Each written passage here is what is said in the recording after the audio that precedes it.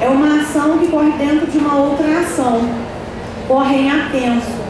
E, e esse, esse, incidental, ele vem dizendo da prática da alienação parental. O processo principal, ele pode ser vários processos. Pode ser um processo de divórcio, pode ser um processo de guarda, pode ser um processo de regulamentação de visitas. Então, esse processo incidental, ele só vem dizer, olha, o outro genitor está praticando alienação parental. E aí o juiz, ao receber essa peça, o juiz tem muito cuidado porque é muito difícil detectar a alienação parental para um, uma pessoa que é um profissional de uma outra área. Quem tem que detectar a alienação parental que realmente acontece é o psicólogo. E aí, esse processo ele é imediatamente encaminhado a uma equipe multidisciplinar, que é, fica no, nos tribunais de justiça, e essas equipes elas são compostas por psicólogo e assistente social. E aí eles fazem uma visita.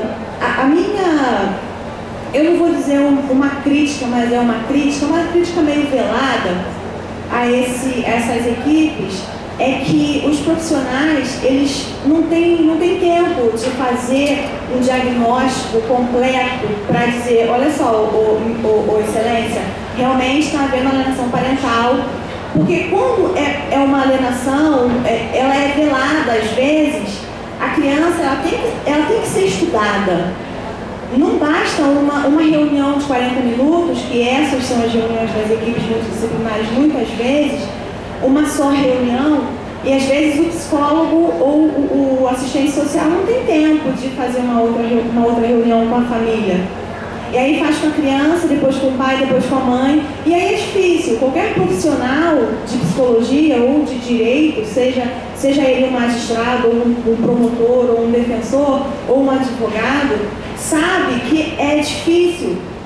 Porque a gente faz a petição, a gente peticiona, beleza, peticionou. Mas e aí? O juiz vai detectar? Não, não tem como o juiz detectar só com o que eu estou dizendo. Para isso exige um contraditório. Então é, é, é, mais difícil ainda porque a criança ela pode estar sofrendo essa alienação de uma maneira muito agressiva. E a agressão ela é, é sempre velada, ela nunca é demonstrada de fato pelo alienador.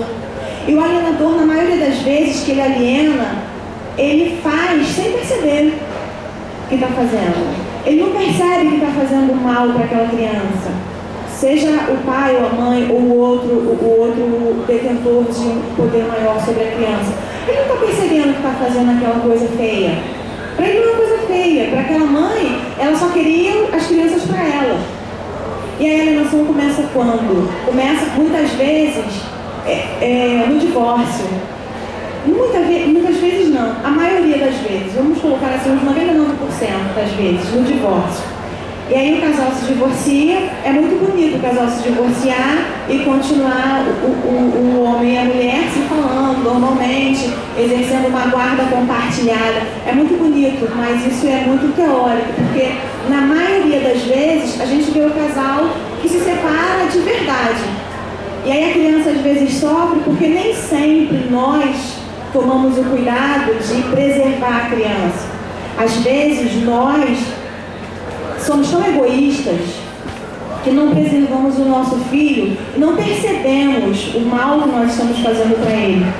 Porque a gente está achando que a gente está fazendo bem. Não, olha só, o seu pai não presta, então você vai ficar comigo, a sua mãe não presta, você vai ficar comigo. E você tem que esquecer o seu pai, você tem que esquecer a sua mãe, então, é, o mal que fica na criança é muito grande.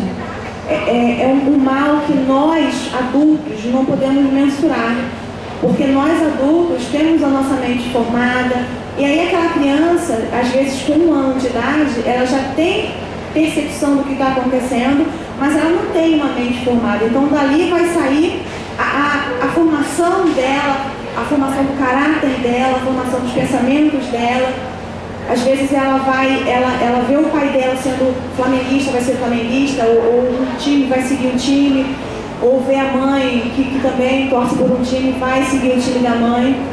E a criança, ela vai crescendo é, tendo asco do, do pai ou da mãe, tendo aquela, aquela coisa que ela não vai perceber nunca.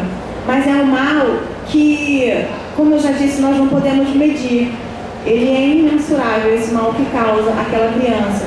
Porque ela chega na adolescência com vários problemas, problemas de até mesmo de saúde. E aí talvez seja por isso que o Richard Gardner quis dar essa nomenclatura para essa prática, uma síndrome. É uma síndrome, tá, mas ela vai ser tratada como? Que remédio vai tratar essa síndrome? Porque tem psiquiatra e psicólogo que entende sim que é uma síndrome, tem outros que não. Em alguns lugares ela é entendida como uma síndrome, em outros lugares não.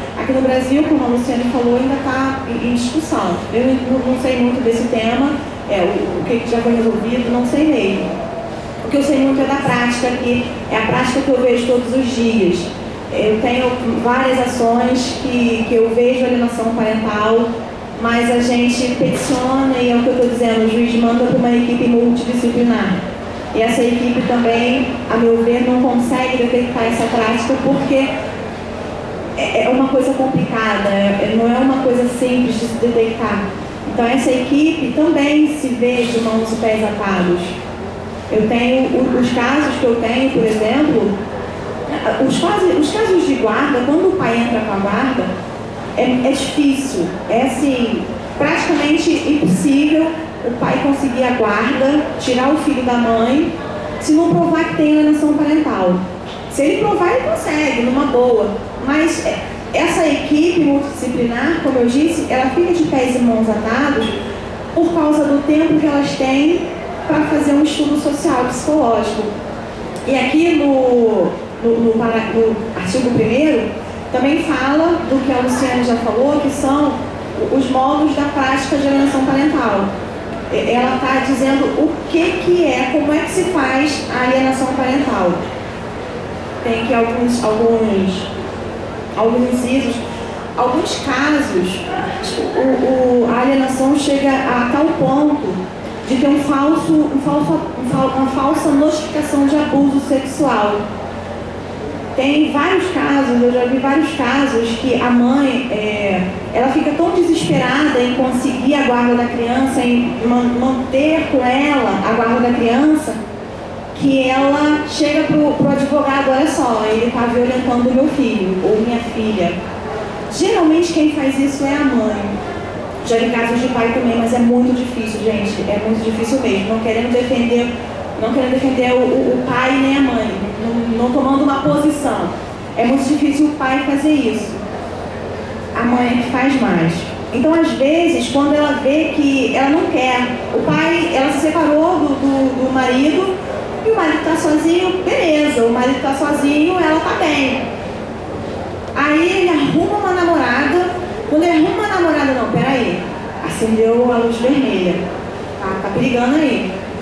E aí é que ela começa, geralmente é assim, geralmente é assim que ela começa na, na prática da alienação. Ela quer derramar a frustração dela em cima do filho, que é o filho que ela tem, é a única arma que ela tem. Ela não tem outra arma, a arma dela é o filho. Então, se, ela, se a arma dela é o filho, então é o filho dela que ela vai alienar, que ela vai, que ela vai é, trabalhar a alienação. E aí, ela percebe que o caso está ficando sério. E aí quando ela vê que a criança vai sair com o pai e com a namorada, não, peraí, não vai sair com aquela